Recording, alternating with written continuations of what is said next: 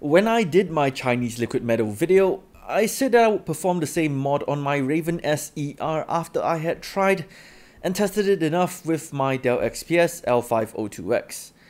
Uh, well, I did it and the results ended up great.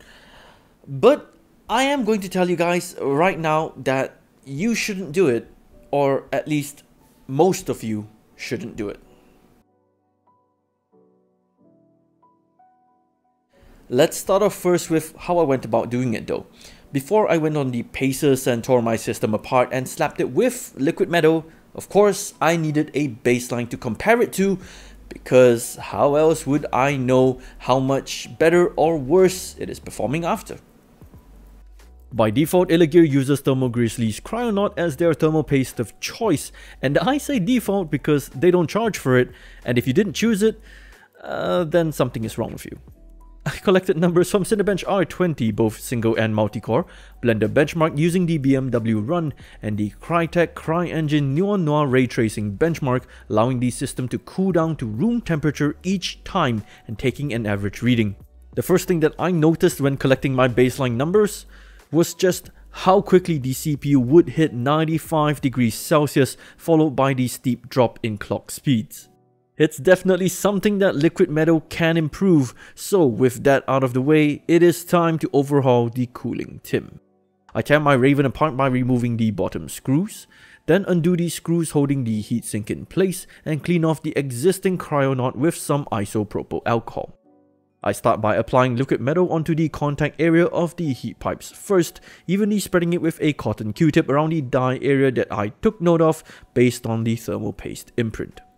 The same treatment is done for the i7-9750H and the RTX 2060 dies, this time being extra careful so as not to get any on the surrounding SMD chips, because that would be a bad time.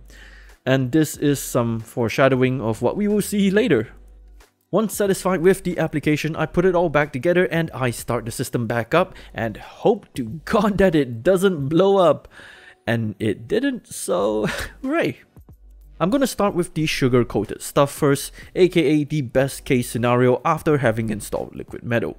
In Cinebench R20, we see a very noticeable improvement where even at a room ambient temperature of 30 degrees Celsius, the CPU never hit the thermal limit, reaching a maximum of 89 Celsius. Now of course, before this it was maxing out at 95 Celsius, but if you're just looking at a 6 degree improvement, it doesn't really tell the whole story as the thermal limit for this CPU is 95 and it will try to keep it below that. What that means is that in the event that the CPU runs at both the same power limit and clock speeds, the thermal difference will actually be larger than just 6 degrees Celsius. Instead, what the chip did was that it took that extra thermal headroom to clock itself higher for longer, and so we actually get better multi-threaded and single-threaded scores, and in fact the only thing that was stopping us from getting higher results was the power limit on the chip that didn't want to exceed 60 watts long term. This is very evident in the first graph where we can see that the CPU ran at roughly 73 watts for 1 minute around 3.65 GHz where it hit that maximum of 89 Celsius before finally settling at 60 watts and running at 3.45 GHz with the temperature never exceeding 84 Celsius for the rest of the benchmark. Now of course if random numbers don't really mean anything to you, how about time instead? In the Blender BMW benchmark run, the liquid metal laptop ran 30 seconds faster and didn't overheat or thermal throttle at all, unlike before. So you can imagine that if you're someone who has a high render heavy workflow, once you start rendering 2, 3, 10, 20, and maybe above render passes, you're going to start saving a lot of time and maybe even get an extra lunch break. Moving on to the Neon Noir benchmark, we see a similar occurrence where because the CPU and GPU is allowed to clock higher and faster, the benchmark results that came out in the end were about 100 points faster than before and in no circumstances did the GPU thermal throttle.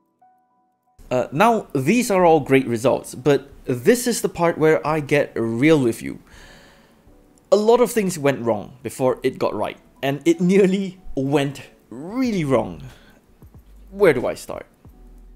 The first time that I applied liquid metal onto the laptop, I was extremely cautious about not putting too much that I ended up putting way too little and that ended up with my temperature spiking all the way up to 95 on both the CPU and GPU the moment that I ran my benchmarks and stress tests. After a while, I revisited the laptop again after having figured this out, and this time I was a bit more generous with my application and bear in mind that I still made sure to be extremely careful as to not get any of the liquid metal on the surrounding SMDs. The laptop booted up perfectly fine and stress tested extremely well.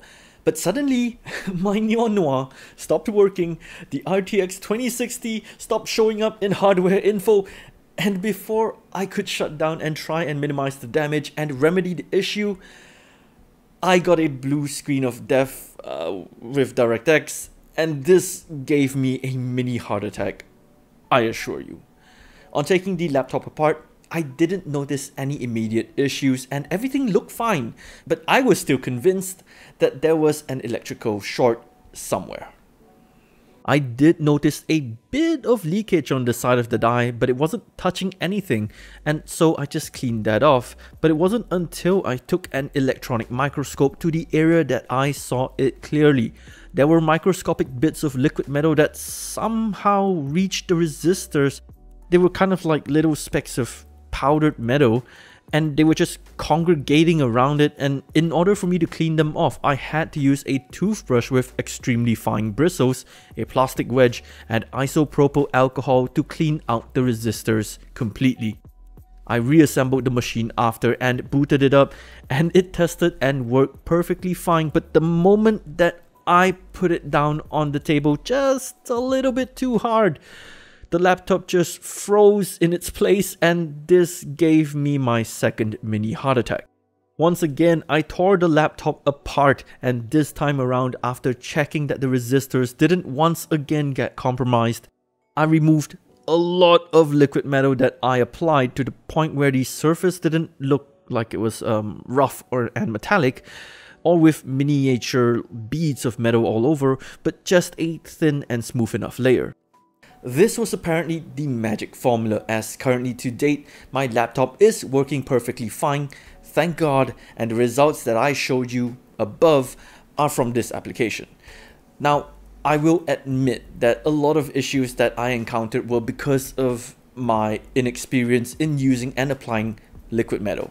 But I can assume that most people will be trying it for their first time might even make the same mistakes, especially if they're doing it on a laptop rather than a desktop chip where it's usually the IHS to the cold plate instead of uh, how in a laptop it's the uh, die to the cold plate.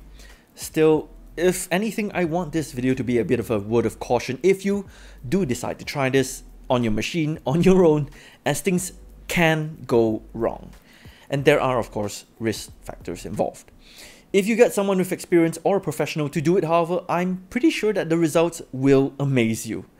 As for me though, I think that the next time that, you know, I would try something like this, I might just use conformal coating on the surrounding chips. But again, I think that the best thing is just to get it right.